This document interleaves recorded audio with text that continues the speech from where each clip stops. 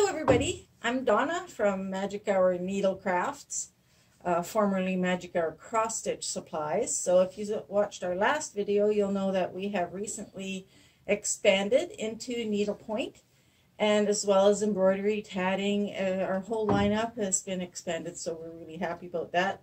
I'm inexperienced at needlepoint. In fact, I'm a rank amateur. I've never, I'm, I'm working on my first project now. So I'm ready to start my second project because I'm just about done my first one. And also I wanted to put on video um, the how to get started on a first project because I would like uh, other people to join me in the joy of needlepoint. I'm really having a lot of fun with this, so uh, I want to spread the joy. So here we go with my first needlepoint project with all the, the goodies. I, this one is going to be in tapestry wool instead of pearl cottons.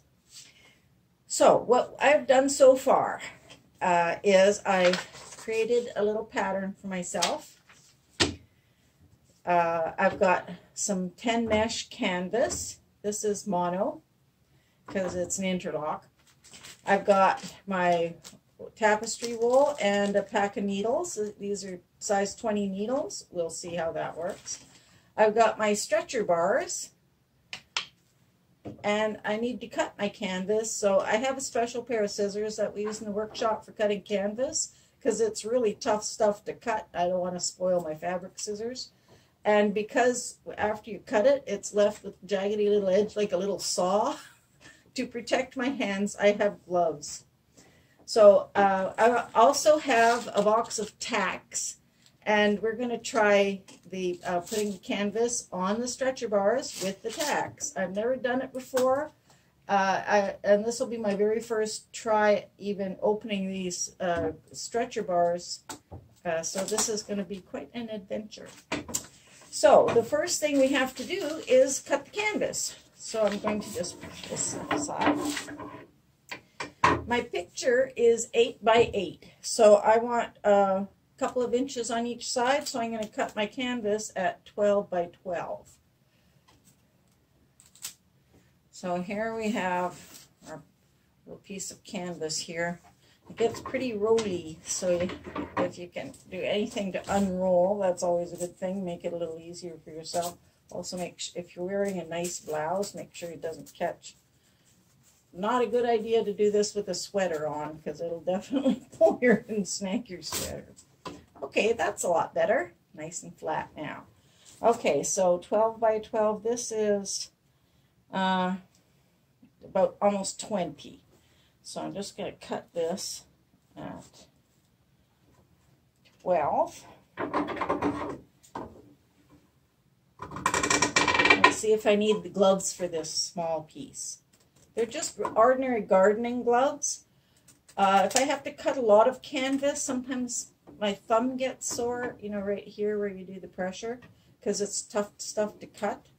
So I have uh, actually a little, one of those little stretchy winter gloves inside the right hand, and being right-handed, uh, to protect my thumb as well. Protection is important. Okay, that's one, and right here,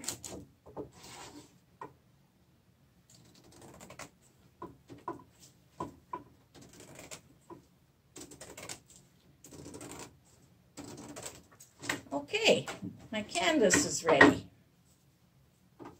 Now the next thing I'm going to do is, now uh, this is was my own idea because I I just started in needlepoint. I have not yet uh, got a lot of uh, stash with patterns and stuff. So I, I made my own pattern.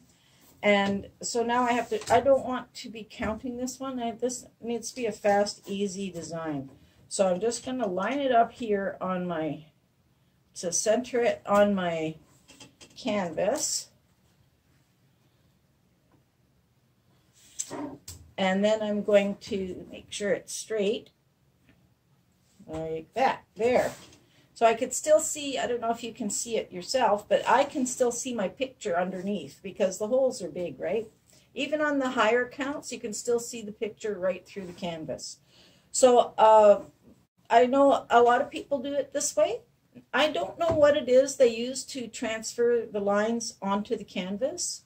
I tried a pencil and it worked well because and it was nice to be able to erase the lines. However, I did find that when stitching at or near where the pencil line was, the thread, which I was using pearl cotton on that one, uh, picked up some of the dark from the pencil. So I uh, this time I'm going to try a Sharpie.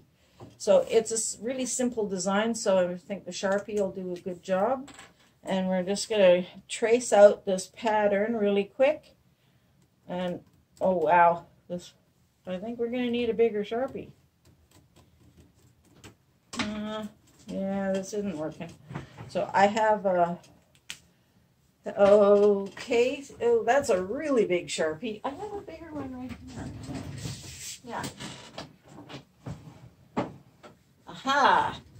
It's nice to have everything handy, isn't it? Okay, so I'm going to uh, mark my corners. That would be a good start because I am going to do some background stitches. That's going to be the fun part. I get to pick my own stitches for background. Let's see how this works. Okay, so one important thing is mark on the threads, not on the holes. And with that, uh, you will have a lot easier time marking out the, the, pattern. Now with this one, I showed you the, I faded it out so it, it might be hard to see on the video, but it's just some simple abstract leaves. So we want to be able to uh, trace. Oh yeah, this is working much better. So we're going to trace out the picture. And it's not, the details, I like, I like the details, but they don't have to be exactly as the picture in this case, because I made the picture. I can adapt. And I'm going to have some long, skinny vine things and some leaf things. So it will be like a combination anyway of different kinds of shapes, triangle shapes and roundish shapes. And so it'll be a challenge for the stitching as well. Okay, and now that was the, the structure of the leaves. So let's do some little bits in between here. We did the branches, so this is working really well. The bigger Sharpie is definitely the way to go.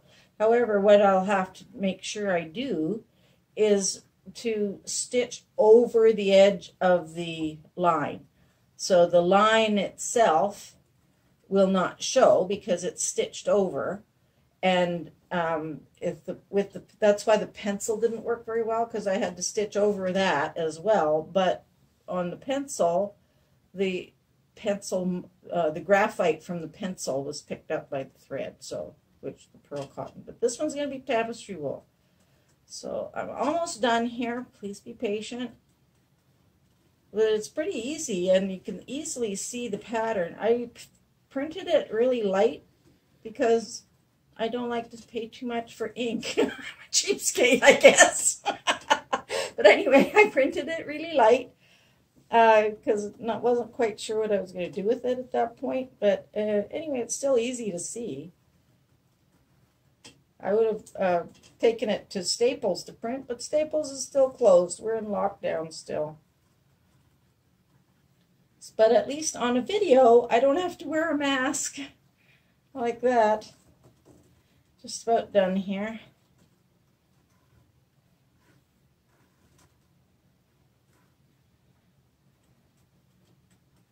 There. Well, it might not be able to see it like that, but I bet you can see it like that. Can you see it? It shows up. My webmaster says it looks fine. So that's Serena. She's always behind the camera. Okay, I have my picture. I'm quite pleased with it. It looks good. And hardly any came through. So this picture, if I wanted to do a set, for instance, I could uh, do more than one without having to reprint. Okay, now comes the fun part. I get to break open these. Stretcher bars are Uh, they're sold in one inch increments, and you just find the one that's closest in size to your project.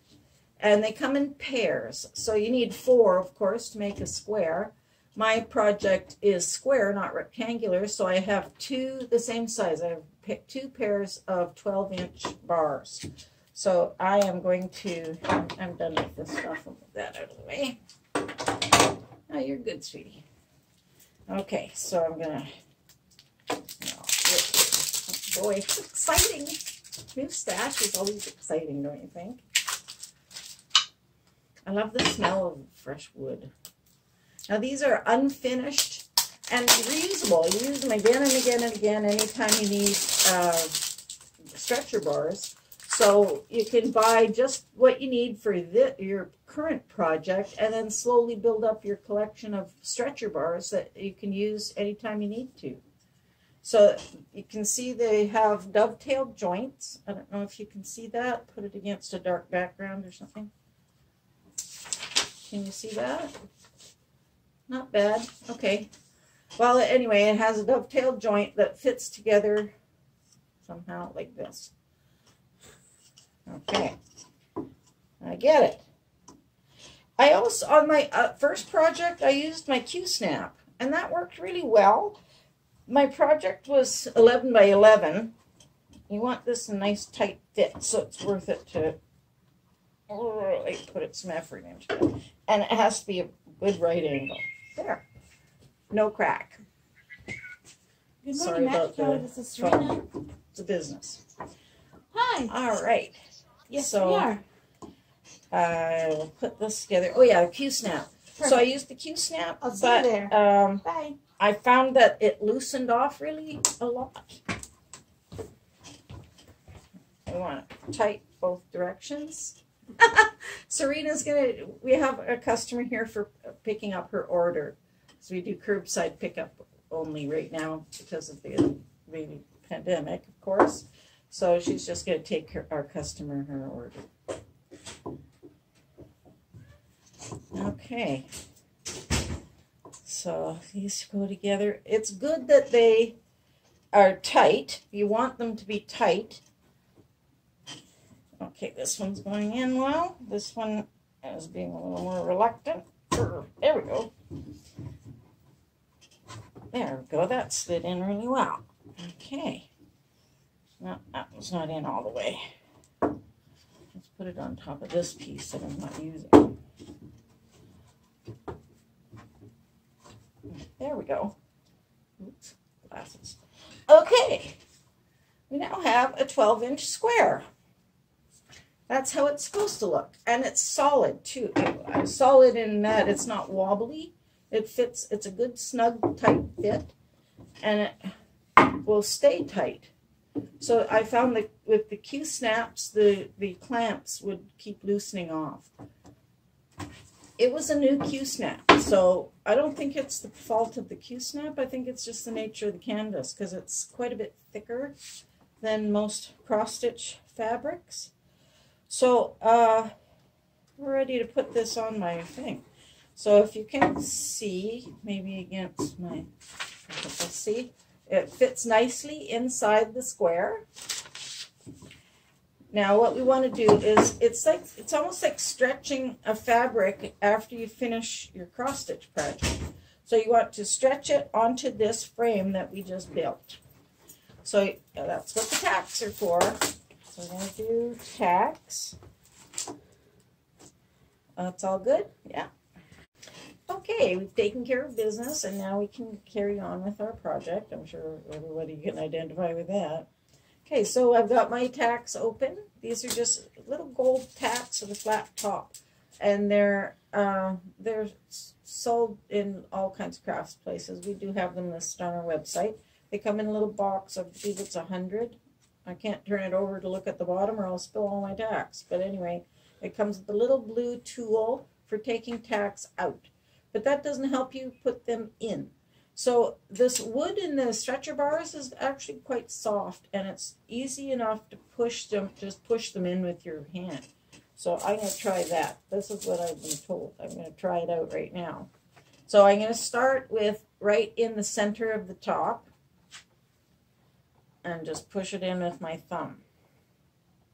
It goes in a good ways. You don't want to push it in too tight or you won't be able to get it out. So, and then at the middle of the bottom. So you pull it a little bit so it's nice and tight. And this is going in quite well. Remember to put it against the right against the thread so when you let go it doesn't loosen off that much you want it to be very tight see that's pretty good right there now the sides i'm going to do the sides so you do top and bottom then the side centers and then work your way out from there until with stitch with uh, tacks about an inch and a half apart so we're going to be doing that so when Serena edits this video, she can just maybe speed through this part. I don't know if you can do that kind of thing, but she's a genius. So, but what can I say? I'm the mom's. Everything she does is perfect. Anyway, so pulling it tight, putting in the tacks. It's if you've ever stretched your fabric when you're finishing a, a cross stitch piece, it's pretty much the same thing. So you start at the centers and then work your way out to the corners. This is going really, really well. So, but you want to stretch it each time. I'm going to just do the cor uh, the centers and the corners for the moment, and I'll finish up after because it's boring to watch people put tacks into a piece. But I'll just demonstrate this little dual. It, it's just like it looks like a a, a little crowbar thing, which is basically what it is. There's a fork in the middle. You just slide it underneath and pop it off. So it comes it comes up very easily. You can reuse the tacks, reuse the tool, of course, and reuse the stretcher frame. So this all makes it uh, the uh, a lot more affordable for your projects. So again, you want to make sure that you're uh, stretching it nice and tight. It should be quite firm there. Okay, I'll just put that aside for the moment and I'll finish putting in the tacks later. So right now, I did just the the centers and corners, but you will want to put them all all the way around. So to keep your fabric or your canvas tight as you're stitching. But I was too eager to go, so I, am uh, and to move on with the video. So I'm just going to do those for now. So I did have an idea for, um, in case your thumb gets sore as you're pushing in all these tacks. Of course, you can use a hammer. I couldn't find my little hammer. So I thought, well, I would try the just pushing. And it worked. Another thought would was I have these little leather thimbles. You're going to want these for your needlepoint. I found them very, very helpful because uh, it, it with the thicker uh, threads that are typically used, it's harder to put pull the thread through when you're finishing a, a length. So uh, the gripper leather thimbles for your gripping helped a lot. I also, it was, it took a few days, but I built up some calluses here because it is harder to pull the needle through. So anyway, I was happy that worked. Now what I thought is take your leather thimble, put a coin inside, and your thumb, and then you can push them uh, a lot easier without damaging your thumb. So if my thumb gets tired as I'm putting in all these tacks, I'll give that a try and let you know how it goes. I'm ready to start stitching. So I have moved ahead uh, when you weren't looking, and I, I'm going to use tapestry wool, as I said. Here it is. This is DMC tapestry wool. It's 100% wool. It's a special type of wool specific for needlepoint and it's great for even for upholstery and rugs and everything and it feels so soft. It's kind of feels spongy. I just want to grip it and hug it. It's like a stress ball thing. It feels really good. So i have three shades of green and this is gonna this uh, peach light peach is gonna be my my background color. So i'm using I don't use this method with cross stitch thread with embroidery floss, but I'm going to do the pull skein thing because I don't, I'm, uh, don't think these are going to fit on my bobbins, which is what I usually use. So I've got a very short piece here. I'll just cut that off right there. And I have threaded up my, this is a size 20 needle. So it's quite a big needle. You probably can't see it, but anyway, it's a good size, that big and quite thick. So, uh, but you do want a good size needle. So I'm going to use a waste knot to start. So I'm just going to do a little knot here. And I'm going to start with the darker green because that's going to be for the vines in between. So I'm just going to start. And uh, what I decided to do with this is uh, to put the dark green uh, for darkest green for the vines, the stems and stuff, the middle green for the leaves, the lighter green for the new leaves and the little baby leaves, and the background will be the, the peach. But I'm going, going to use, because they're, the shapes are quite complex, kind of some are pointy, some are round, I'm going to just use tent stitch for the actual figure. But I could use some fancier stitches for, uh, for the background. So I'm looking to that. So I'm just going to start right here with my tent stitch on uh, the, with the dark green. And as you know, I'm going to, uh, tent stitch is easy. It goes faster than cross stitch because it's half as many strokes, right? Not as much stabbing involved which I don't know if some people will think that's a good thing. Some people maybe not. But I do enjoy this, the actual stitching. And uh, the frame keeps it really nice and sturdy. So you can, um, you'll be able to uh, manipulate it, flip it to tie off, you know, check for knots. And, you know, it's really handy. I'm really enjoying using the stretcher bars it's this is new for me. I've never used them before, as I mentioned, so it's new for me. And I've got my first few stitches in. See how quick that was? And it was also very affordable. So if you go on some some uh, needlepoint things can be very pricey. The hand painted canvases are out of this world. They are gorgeous. And if you can afford those, wow, good for you. Go for it. Not everybody can afford to pay that much for a canvas. I can't. So that's why I'm doing it this way. There are other ways you can use uh, like a counted uh, pattern that similar to a cross stitch pattern, but it's a needle point, but it's a counted thing.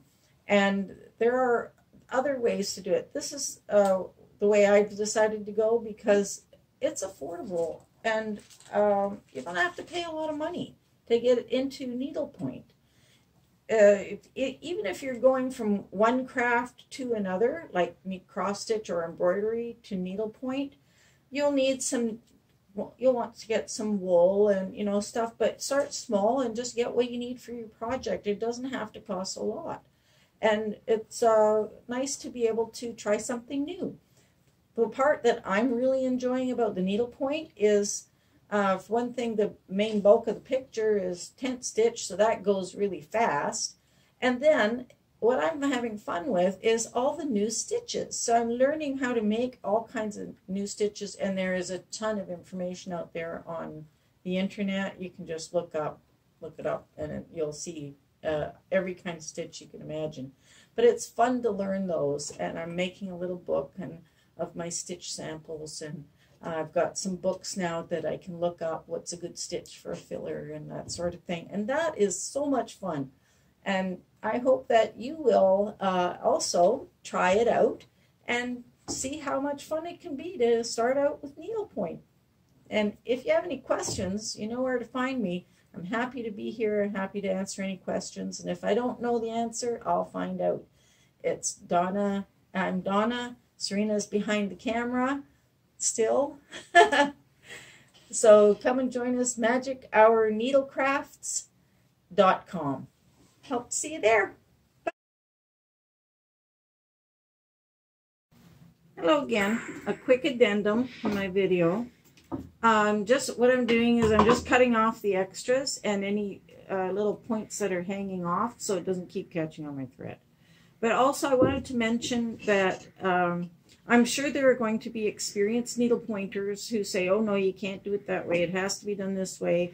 Um, or there are rules or there are conventions for uh, needlepoint, same as there are for any art, including cross stitch and other other thread arts. And they're right, there are. And maybe I am doing it all wrong. As I said, I'm a newbie. But you got to start where you're at. So where I'm at right now is I'm brand new to the art. I know I can do a nice picture this way, so I'm going to start this way. And as I get more experience, I will learn the, the niceties and the, um, the uh, best way to do things uh, the, that will bring, bring a better and better and better result. So you don't have to be perfect when you first start out. I'm not creating heritage pieces here. I'm just having fun stitching. And if that's your goal, then do it however will do the job. So I'm doing it this way and I will give you updates as I go along. So have fun with it.